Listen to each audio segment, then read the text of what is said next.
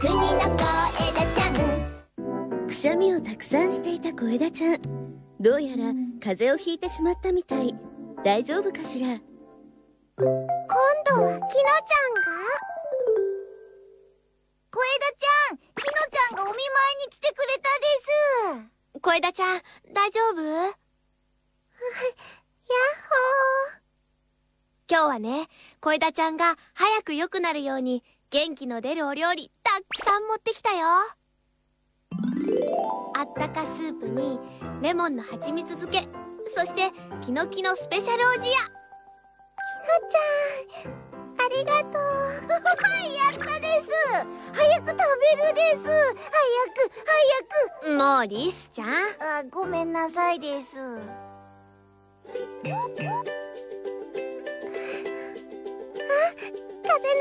たい。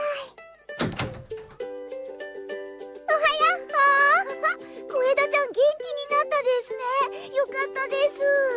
きっときのちゃんのお料理のおかげです。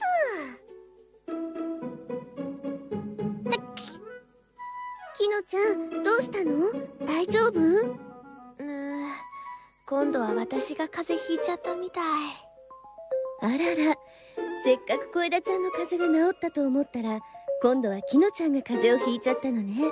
大丈夫かしら？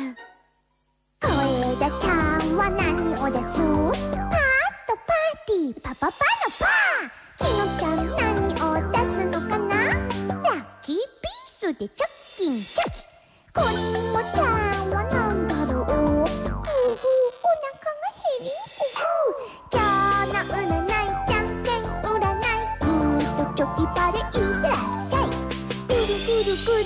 くるくるくるくるじゃんけんぽんきのちゃんどうしたの？大丈夫？うー今度は私が風邪ひいちゃったみたい。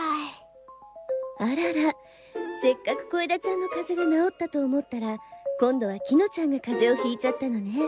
大丈夫かしら？小枝ちゃんは何をです？パーッとパーティー。パパパのごめんなさいです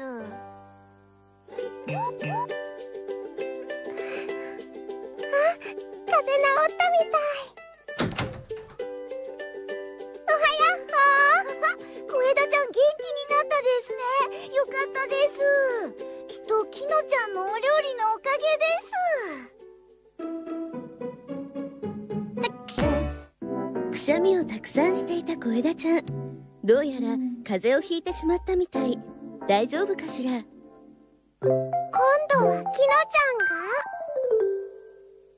小枝ちゃん、きのちゃんがお見舞いに来てくれたです。小枝ちゃん、大丈夫？やっほー。今日はね、な、な、たんたん、おは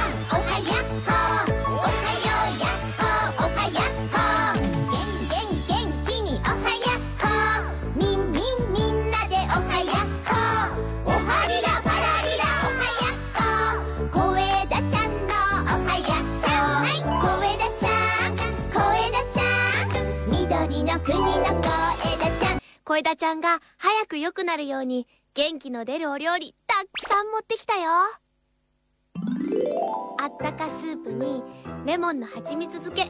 そしてキノキのスペシャルおじや。きのちゃんありがとう。やったです。早く食べるです。早く早く。もうリスちゃん。あ